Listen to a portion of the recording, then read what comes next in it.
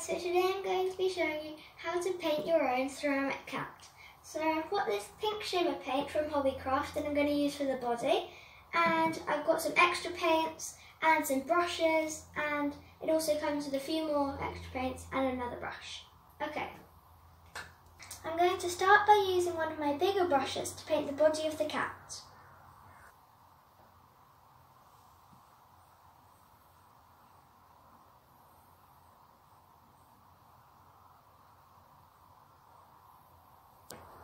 As you can see, this is a light colour, so I might have to do more coats.